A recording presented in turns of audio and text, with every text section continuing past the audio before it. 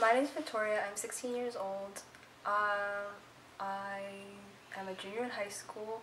I was diagnosed with alopecia areata when I was 12, and my dermatologist, my dermatologist explained to me that it was an autoimmune condition that caused hair loss.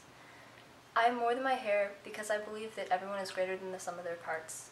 And I don't think that anyone can be judged just based on one aspect of themselves, especially not their appearance. So I think that everyone's greater than something that, some like a situation that happens to them. I think people are their reaction. I think people are how they grow through their experiences, not what happens to them.